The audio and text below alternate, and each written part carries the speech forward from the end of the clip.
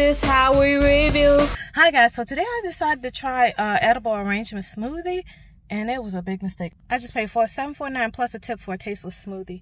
I saw them put the fruit in there, but the smoothie tastes like crushed ice and like the aftertaste of fruit. It's like the aftertaste of having fruit in there and crushed ice. But I actually saw them use fruit. I don't know if they use too much ice or what, but hopefully this helps you and your decisions on good smoothies. The Mr. Smoothie near me tastes better than this, even though you can tell that they're using frozen stuff.